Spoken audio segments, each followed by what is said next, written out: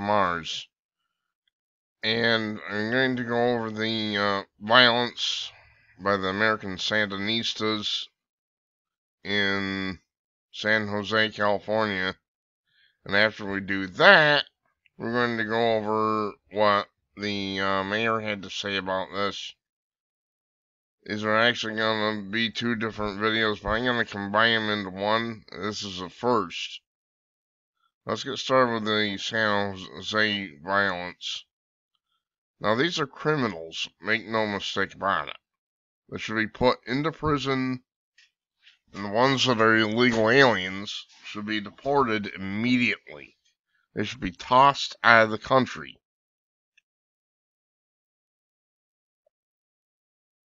So, what the hell's going on here? Well, we got a mini insurrection, is what's going on here. Donald Trump's rally in San Jose, California Thursday night was marred by violence by anti Trump demonstrators who targeted the event's attendees and police. San Diego police reported that approximately three to four hundred protesters gathered outside Trump event. They weren't protesters, they were criminals which led to four arrests for incidents including assault with a deadly weapon and unlawful assembly, Officer Albert Morales said in a statement.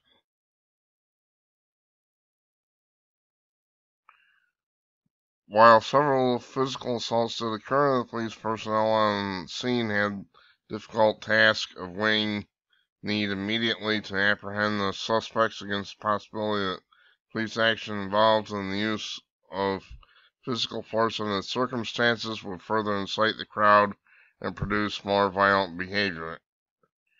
Translation, they ran away from doing their jobs. I don't care if you gotta break some heads. These criminals have to be arrested. The ones that are illegal aliens, deported, arrest them in prison for a long time. And here they're uh, they're flying American, they're burning Old Glory, and they're flying Mexican flags. Well, I'm sorry, it's not your country, you assholes. I am really getting angry.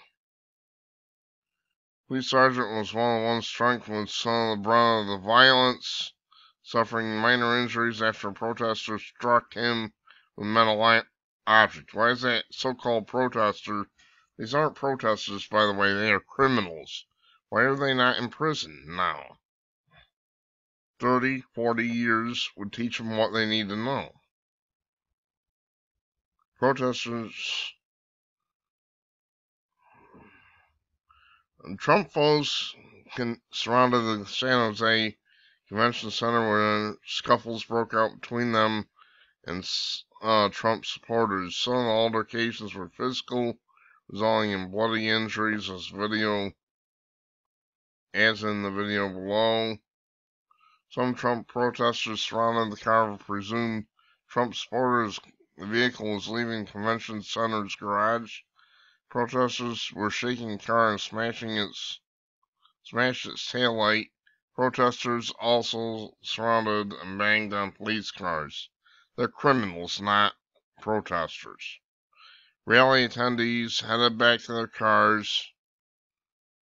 Heading back to the cars were egged, following, followed, and intimidated by some of the criminals.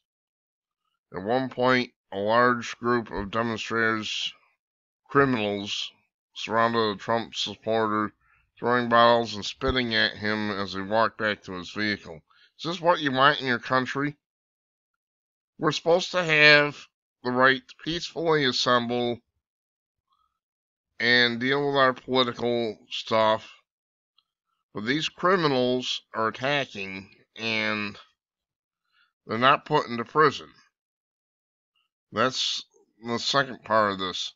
Police instructed protesters, I mean criminals, over the loudspeakers to return home, but at one point, one to two, 100 to 200 of them remained, taunting riot gear wearing police.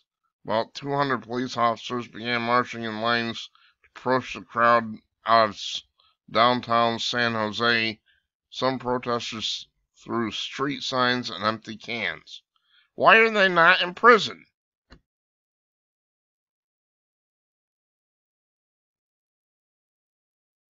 Before the violence outside the convention center kicked into high gear, rally attendees listened to the presumptive Republican nominee go after Hillary Clinton just hours after the Democratic presidential hopeful gave a long speech on foreign policy that Trump described as pathetic.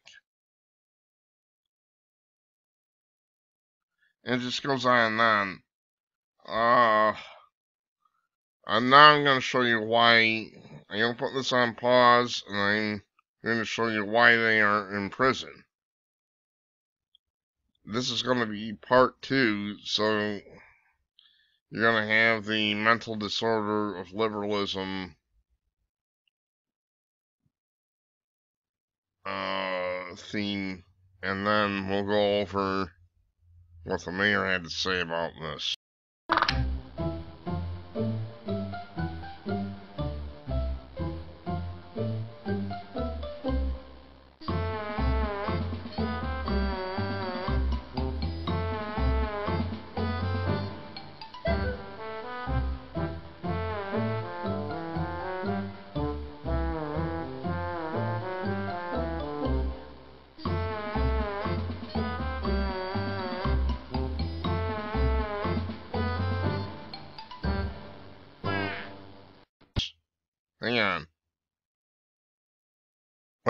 Okay. This is Artifacts Mars again, and San Jose city officials Friday condemned violence that took place at Donald Trump's campaign rally Thursday night that left some people bloody, led to four arrests, and injured a cop. Trump supporters leaving presidential candidates rally in San Jose were pounced on by the criminals.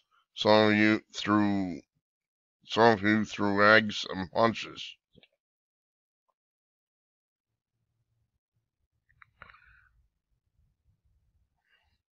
Uh, we're gonna skip down. What happened last night was disgraceful. San Jose Police Chief Eddie Garcia said Friday in at a news conference. Garcia said police will never condone violence and assaults are not a First Amendment right. That's telling them, so why are these criminals not in prison?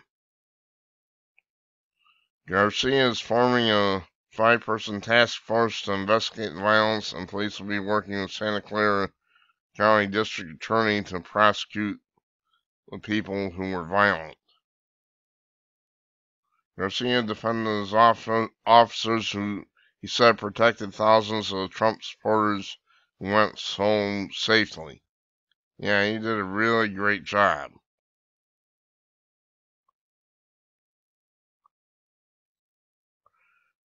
Well, uh, that's all. When Garcia was asked what police could do differently next time, he said we need more officers. The goal of keeping people more people from each other. Social media lit up with angry tweets. Twitter used Stephen Rogers called the chief police chief to be fired. Meanwhile, Trump America called for a San Jose boycott. Okay, I'm okay okay with that. I'm trying to find the part about the mayor. Mayor I'm to skip down. Mayor Sam Liccardo, a Democrat and Hillary Clinton supporter, go figure, criticized Trump for coming to the cities and igniting problems that local police departments had to deal with. He's insane. Uh, excuse me, Mr. Liccardo.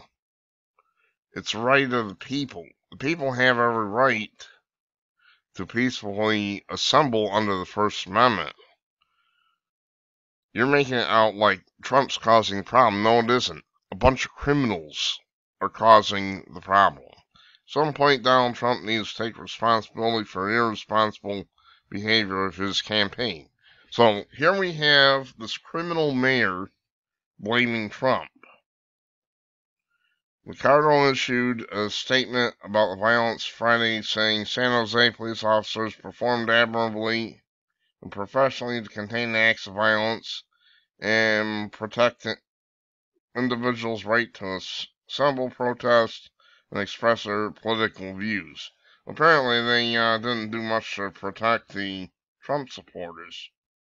While a sad statement about our political discord that Mr. Trump has focused on stirring antagonism instead of offering real solutions to our nation's challenges, there's absolutely no place for violence against people who are simply exercising their rights to participate in the political process. So here you have it. The mayor has blamed Trump for the violence. Here we have these leftist pinko commies, these American Sandinistas, who did the violence, but of course it's Trump's fault. You gotta blame the victim. This is a sick, diseased Sam Liccardo. You people in San Jose need to remove him immediately. He is completely unfit to hold public office. I stand by that. Uh, actually, I heard he told the cops to stand down which doesn't surprise me reading the story, so I'm thinking he should be sent to prison. Nothing's going to happen, and this is going to get worse. There's going to be more and more violence because of these criminals. Uh, this mayor, look what this mayor is suggesting. He's suggesting that Trump stay in uh, Trump Tower, New York and run his campaign from there. Unacceptable. You can't you can't win a presidential campaign doing something like that. I'm sorry, you can't do it. Course, he doesn't want Trump to win. He's a Hillary Clinton supporter but he's on a mission. So there you have it. It's only going to get to get worse. Trump supporters.